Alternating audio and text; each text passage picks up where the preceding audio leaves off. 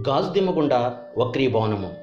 ఈ ప్రయోగంలో గాజు దిమ్మెలో ఏర్పడే ప్రతిబింబ స్థానాలను గుర్తించుట పార్శ్వ విస్థాపనమును అవగాహన చేసుకుందాం. ఈ ప్రయోగానికి కావలసిన పరికరాలు. పెన్సిల్ గుండుసూదులు కార్డ్బోర్డ్ పిన్లు గాజు దిమ్మె స్కేల్ కోణమానిని. మొదట డ్రాయింగ్ బోర్డుపై ఏ ఫోర్ సైజు కాగితం ఉంచి డ్రాయింగ్ పిన్నులను గుచ్చుదాం. కాగితం మధ్య భాగంలో గాజు దిమ్మెను ఉంచి దిమ్మె అంచు వెంబడి పెన్సిల్తో గీత గీద్దాం. ఏబీ భుజానికి ఓ బిందువు వద్ద ఒక లంబాన్ని గీద్దాం. ఓ బిందువు వద్ద లంబముతో ముప్పై డిగ్రీల కోణం చేసే విధంగా పతన కోణమును కూడా గీద్దాం. పతన కోణమును ముందుకు చుక్కల గీతలతో పొడిగిద్దాం.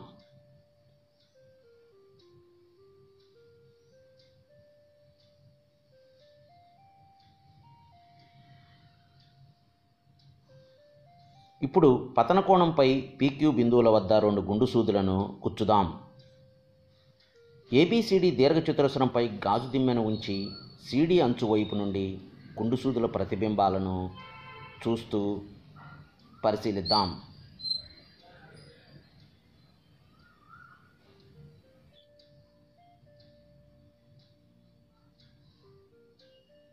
గుండు సూదుల ప్రతిబింబాలను చూస్తూ మూడవ గుండు సూదిని ఒకే వరసలో ఉండే విధంగా కార్డుబోర్డుపై గుచ్చుదాం. చూడండి మూడు గుండు సూదులు ఒకే వరుసలో ఉన్నట్లు కనపడుతున్నాయి.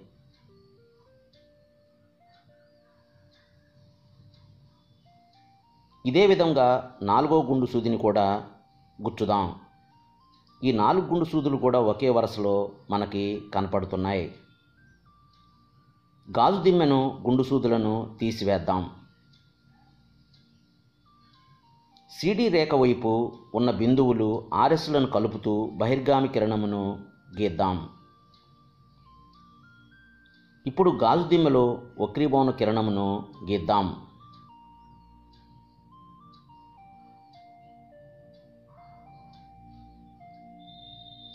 సిడి రేఖపై బహిర్గామి బిందువు వద్ద లంబాన్ని గీద్దాం.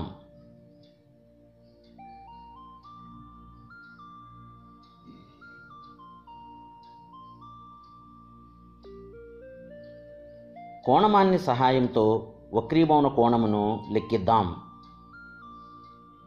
అది ఇరవై డిగ్రీలు ఉన్నట్లు మనకు కనపడుచున్నది.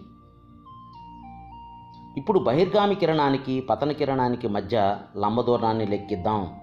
దీన్నే మనం పార్శ్వ విస్థాపనము అంటాము. గమనించండి పార్శ్వ విస్థాపనము మనకు ఒక సెంటీమీటర్ ఉన్నట్లుగా కనపడుచున్నది. పతన కోణము నలభై ఐదు డిగ్రీలు అరవై డిగ్రీలతో ఇదే ప్రయోగాన్ని చేసి వక్రీభవన కోణము మరియు పార్శ్వ విస్థాపనముల విలువలను కనుగొందాం.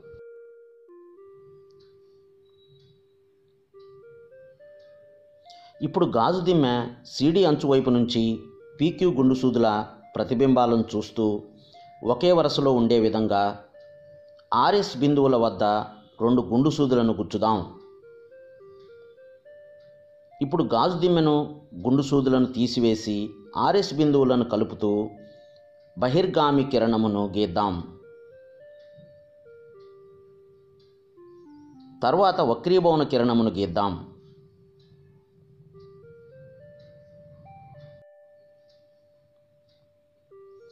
బహిర్గామి బిందువు వద్ద లంబాన్ని గీద్దాం.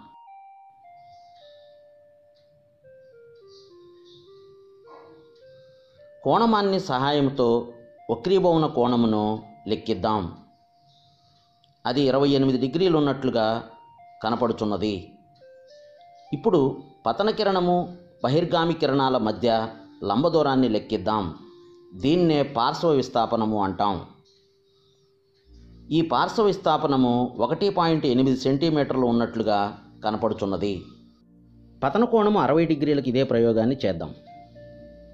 పతన కోణము వక్రీభవన కోణము మరియు పార్శ్వ విస్థాపనముల విలువలు క్రింది పట్టికలో గమనించండి.